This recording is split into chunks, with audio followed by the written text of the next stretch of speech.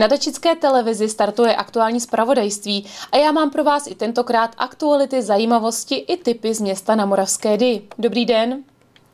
Dobrovolný svazek obcí Vodovod Lanštejn letos opět zainvestoval do lepší dodávky pitné vody, a to nejenom pro dačické odběratele. Řád, který do našeho města vodu přivádí, se postupně vyměňuje za nové potrubí. Každý rok se opraví jeden úsek, letošní část prací v tuhle chvíli finišuje. Z Lanštejnské nádrže odebírá pitnou vodu nejen město Dačice. Vodovodní řad z našeho města pokračuje do dalších obcí, třeba do Budíškovic, Budče nebo do Horní Slatiny.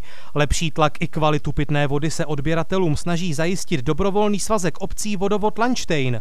Po etapách mění potrubí. V současné době eh, se dokončují stavební práce na rekonstrukci části přívodního řadu, který vede ze Slavonic do Dačic.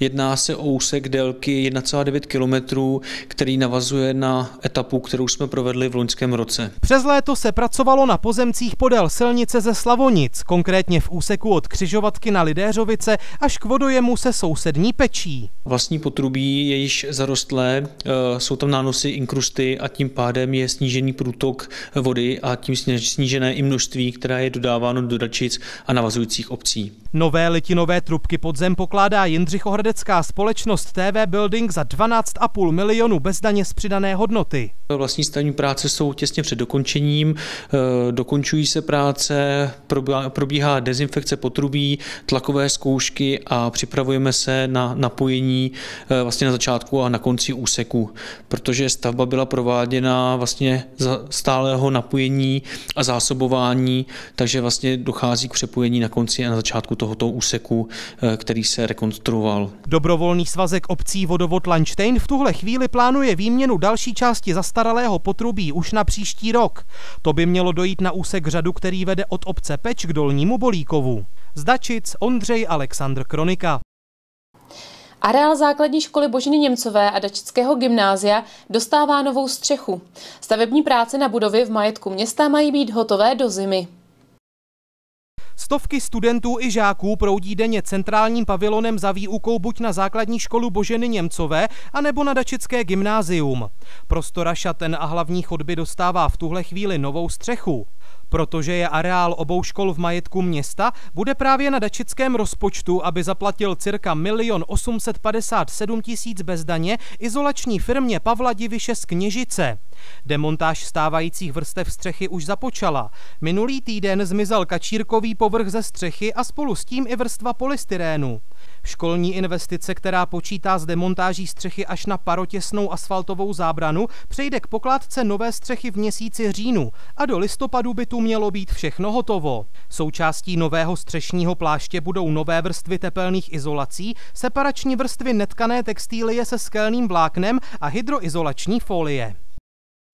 Kanclířův sad pohostil Den prevence. Zdravé město Dačice připravilo v půlce září pro školy i kolem jdoucí stánky s nejrůznější osvětou.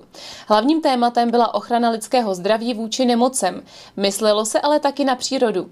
A prostor k prezentaci dostali krom místních sociálních služeb ještě i další spolky a organizace. Jak si uchovat zdraví, jak pohotově reagovat na úrazy a projevy nemocí, jak je v Dačicích dostupná sociální pomoc nebo jak se šetrně chovat k přírodě. Odpovědi na všechny zmíněné otázky nabídl 14. září Den prevence každému, kdo zavítal do kanclířova sadu. Pod Lipkami měli svoje prezentace třeba místní poskytovatelé sociálních služeb. Máme tady potom pečovatelské služby, máme tady pečovatelskou službu Ledax, pečovatelskou službu sdílení a Rezident 2000. A to jsou vlastně, oni vlastně prezentují své služby, které můžou nabídnout našim spoluobčanům. Kromě místních dorazila šířit osvětu třeba i společnost mediků a mladých lékařů Luno. U stánku se organizace věnovala infarktu, mrtvici, sexuálně přenosným nemocem a taky prevenci nádorových onemocnění prsou a varlat. Ze zkušeností lektorek lidé často neví zásadní informace o tom, jak se před nemocemi chránit. Vlastně jako by nevíš, že by se měli samovyšetřovat každý měsíc. A to myslím si, že je takové jako asi nejdůležitější, protože přece jenom ty nádory mezi námi jsou a je potřeba o nich vědět a je potřeba vědět, jak správně to samovyšetření provádět. A většina lidí si třeba myslí, že by to měla dělat jednou za rok, což je strašně málo. Mělo by se to provádět jednou měsíčně. A nebo také vlastně ani nevíce infarkt nebo mrtvice. Takže my se většinou snažíme ty lidi jakoby edukovat, naučit je vlastně, co to je a hlavně, jak se to projevuje, protože vlastně ani neví, jak by to měli řešit. Den prevence v Dačicích patřil také popáleninám. Těmi se zabývá neziskovka Popálky ze Žďáru nad Sázavou. Mimo ohně se ve stanu věnovala pozornost dalším zdrojům popálení, jako třeba zásahu proudem. Simulace železniční troleje ilustrovala často opomíjené nebezpečí a to, že se drátu s vysokým napětím člověk nemusí vůbec dotknout a přesto je ohrožený zásahem proudu. Náš stan je uh, vlastně ukázka všech možných zdrojů popálení, které existují, protože nejen oheň vlastně umí popálit, ale jeden z nejčastějších zdrojů je opaření, uh, což především u malých dětí ve věku jednoho až dvou let, to je vlastně nejčastější riziková skupina, což vlastně na našem stanu my máme uh, tady udělanou jako kuchyň, ale je právě udělaná tak, jak uvidí to roční dítě, takže je taková obří, pro vlastně, když člověk přijde, tak je pro něho veliká, ale právě tak uvidí to malé dítě. Uh, a vlastně vysvětlujeme tam nebo ukazujeme, aby si člověk uvědomil, jak vlastně právě může snadno to dítě na sebe svrhnout ten uh, třeba hrníček. Spolu s lidským zdravím cílila akce v Kancnířově sadu taky na ochranu přírody. Stánky, které se věnují problematice třídění odpadů, doplnil svou vlastní nabídkou taky radniční odbor životního prostředí. Tady jsem si připravila takový uh, prostě kvíz, eh, který, když vlastně řekneme třeba petlahev, kdyby ji někdo odhodil volně do přírody, jak dlouho by tam asi ležela, než by se rozložila. A vždycky na zadní straně je odpověď 100 let. Nejdéle vydrží eh, sklo, kde je předpoklad pravděpodobně tisíc let. Za nejkratší dobu eh, tady z těchto věcí je papírový kapesník, eh, který se rozloží za dva měsíce. V Kancnířově sadu vyrostlo dohromady 15 stánků s nejrůznější tématikou. Mimo oblast prevence se tu představily i místní spolky a organizace. Máme tady nějaké doprovodné stánky, dílničky pro děti, minizókoutek pro děti, potom tady máme zástupce včelař, eh, svazu včelařského, máme mladé florbalisty, které ukazují florbalový sport a pak tak ještě zástupce dačického okénka. Den prevence letos navázal na loňskou premiéru. I druhý ročník akce měl v režii projekt Zdravého města Dačice. Z Dačic Lucie Váchová.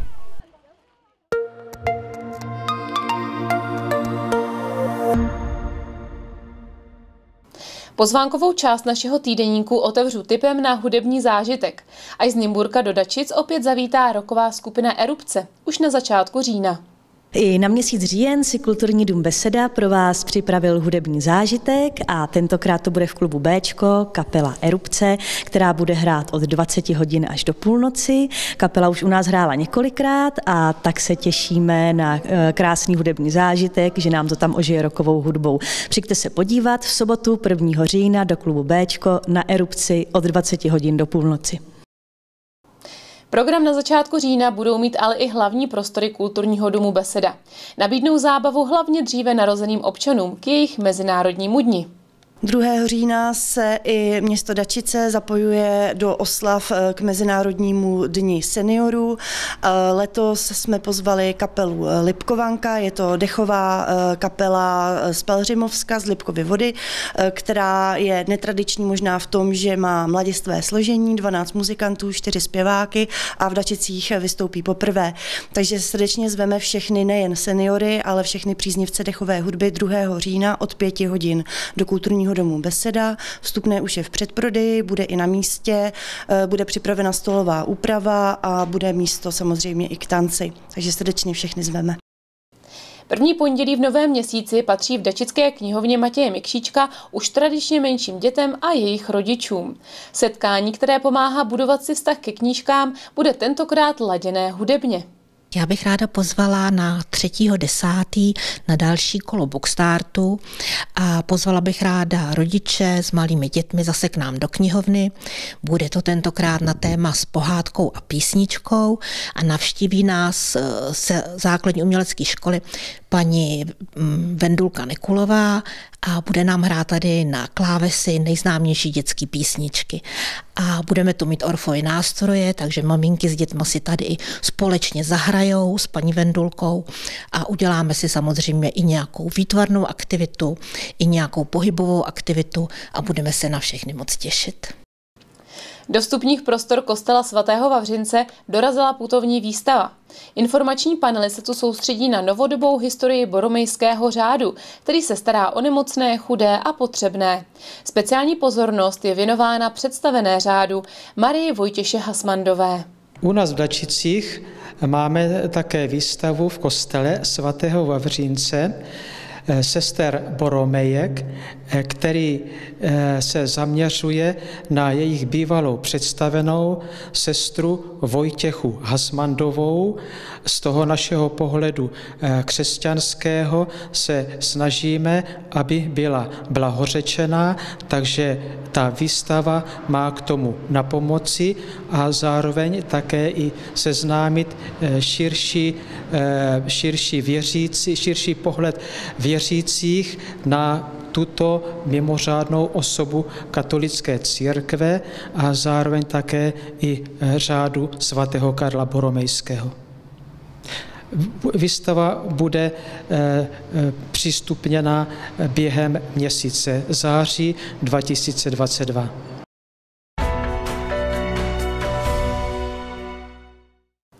Knížky k zápůjčce až domů roznáší nově pracovnice knihovny Matěje Mikšíčka. Služba je určena čtenářům, kteří ať už z důvodu nemoci nebo stáří mají potíže s chůzí, sami se do knihovny nedostanou a zároveň nemají někoho, koho by si pro knihu poslali.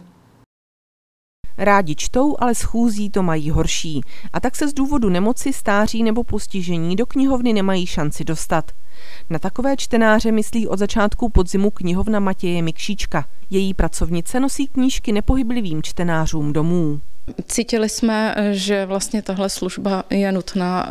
Už jsme o tom přemýšleli v době pandemie, jenomže ani toto nebylo možné, protože návštěva starších nebo zdravotně handicapovaných čtenářů v tu dobu vůbec nepřicházela v úvahu.